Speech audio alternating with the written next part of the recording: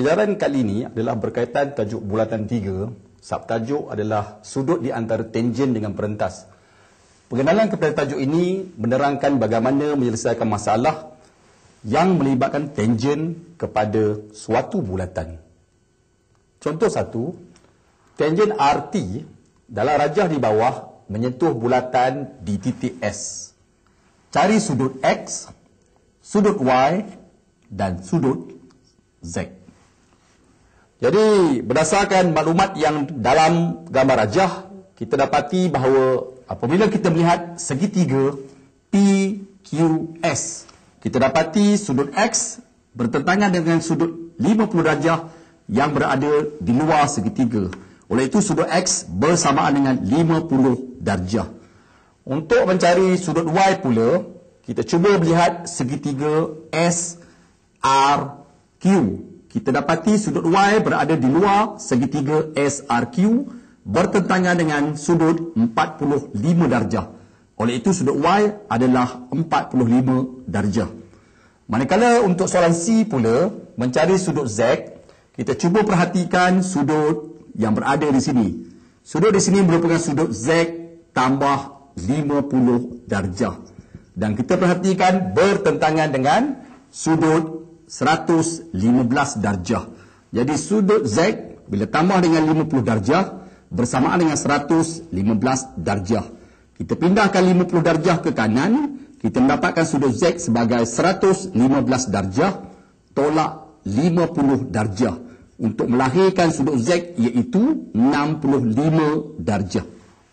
Contoh dua, dalam rajah di bawah STU adalah tangen kepada bulatan. Carikan nilai soalan pertama sudut X, soalan yang kedua sudut Y.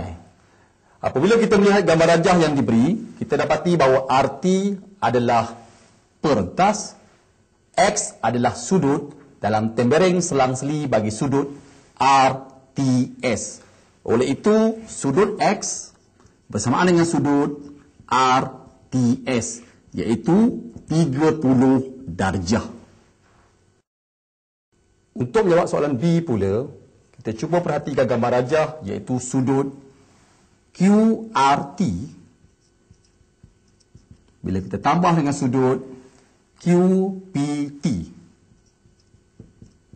menghasilkan sudut 180 darjah iaitu hasil tambah sudut pedalaman yang bertentangan untuk segi empat kitaran ialah 180 darjah. Jadi sudut QRT tambah sudut QPT kita gantikan dengan 50 darjah bersama dengan 180 darjah.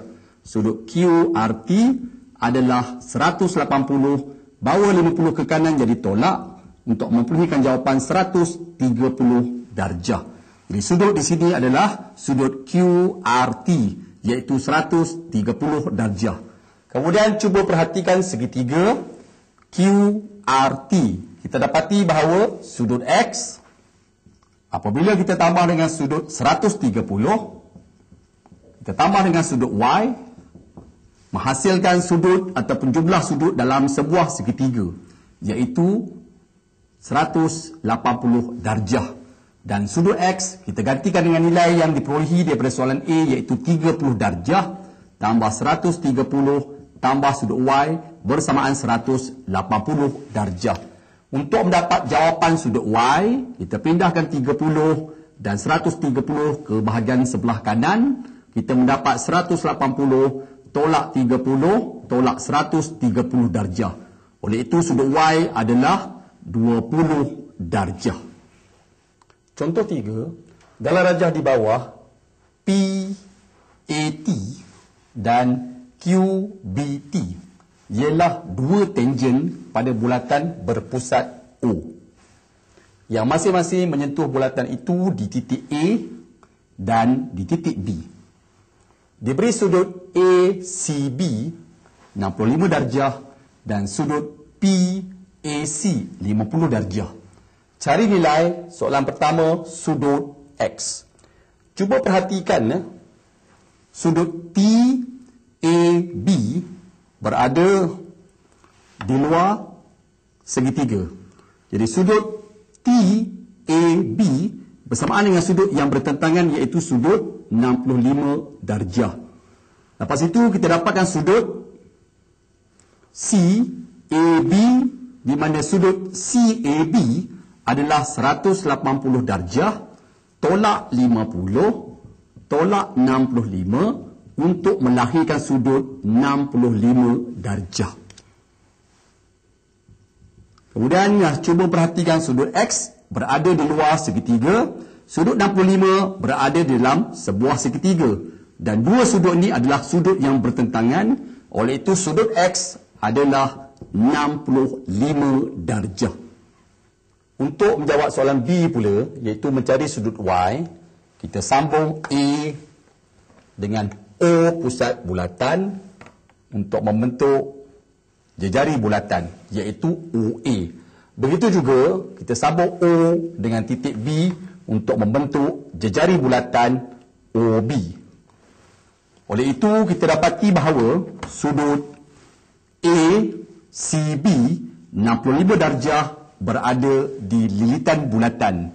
Maka sudut O ataupun sudut AOB berada di pusat bulatan dua kali ganda sudut di lilitan bulatan. Sudut A, OB adalah sudut 2 darab 65 darjah.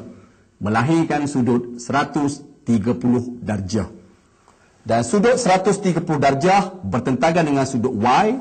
Oleh itu, sudut Y bila tambah dengan sudut 130 darjah bersamaan 180 darjah. Maka sudut Y diperolehi dengan memindahkan 130 ke sebelah kanan kita memperolehi 180 darjah tolak 130 darjah. Oleh itu sudut Y adalah 50 darjah.